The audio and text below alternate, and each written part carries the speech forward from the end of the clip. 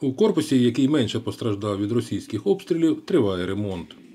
Директорка Широківської початкової школи з дошкільним підрозділом Людмила Ткач говорить, що цього року планують прийняти близько 40 учнів і 11 дошкільнят.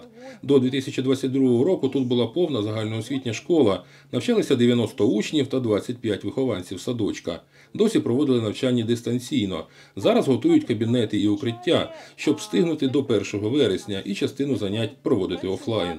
Саме дистанційне навчання, на жаль, воно не дає таких результатів, як дає очне навчання. Коли вчитель бачить очі дітей, коли ми спілкуємося.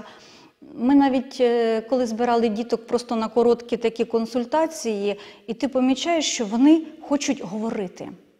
Вони хочуть висловити свої думки. Їм цього недостатньо. Екрану, планшету, телефону їм просто недостатньо. Коли їх там запитали і все. Ні, їм хочеться живого спілкування. У школі в селі Червона Долина до початку повномасштабної війни навчалися 160 учнів з 1 по 11 клас, розповідає директор Віктор Мушин. Після неодноразових російських влучень у березні 2022-го ця будівля непридатна до відновлення. На її місці планують збудувати нову школу. На допомогу прийшов міжнародний благодійний фонд «Сейвд». У приміщеннях захаращеного будинку культури створили сучасний освітній простір. Спочатку нам віддали півклуба.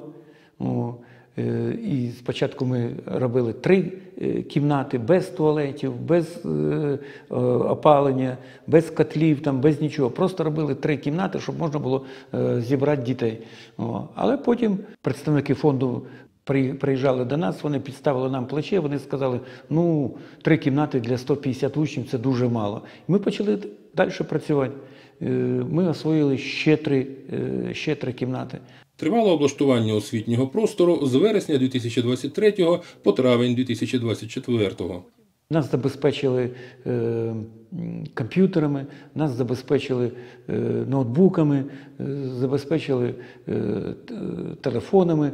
Е, ми швидко це все е, організували, що дітям е, з віддалених сіл розвезли, і е, багатодітним вручили, відмінникам, там, хто медалістам, хто тягнув.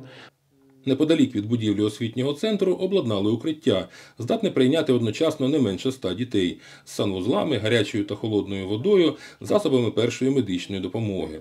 1 вересня, каже керівник закладу, готові посадити за парти близько 180 дітей, учнів та дошкільнят з усіх населених пунктів громади Червоної долини, Широкого та Новопетрівки. Федір Бондар, Суспільне новини, Миколаївщина.